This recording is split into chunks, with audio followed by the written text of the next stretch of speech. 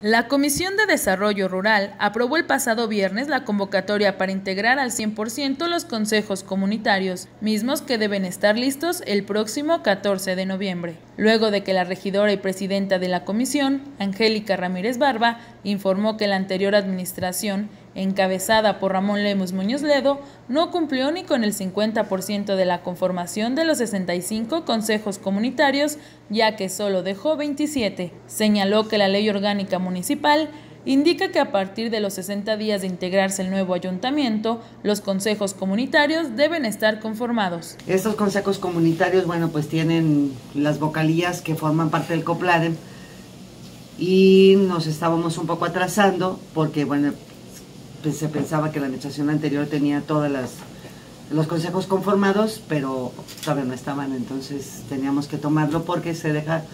de un lado la participación ciudadana. Comentó que la Dirección de Desarrollo Social envió a la comisión la propuesta para la convocatoria, misma que revisaron, hicieron adecuaciones y fue aprobada el pasado viernes. Esta convocatoria se aprobó eh, este viernes 18 días, entonces a partir de ahí Desarrollo Social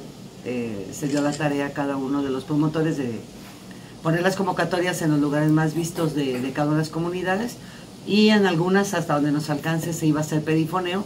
para tener realmente la participación ciudadana y con ello pues estar trabajando en esa administración pues al, tratamos que sea al 100% con cada uno de los ciudadanos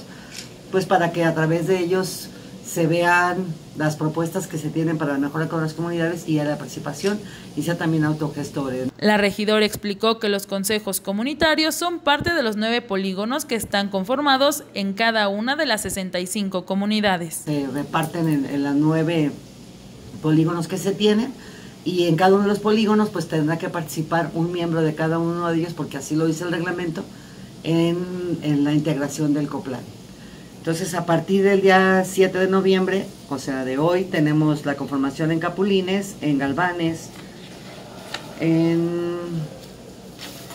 La Esperanza de Justice, en San Rafael de Justice, en San José de Justice, San José de Guanajuato, Jofre, Congregación de Canoas y nada más el día de, el día de hoy. Acá tenemos otra, es en San José Nuevo. Para Noticiero Expresa TV, Abelina Guevara.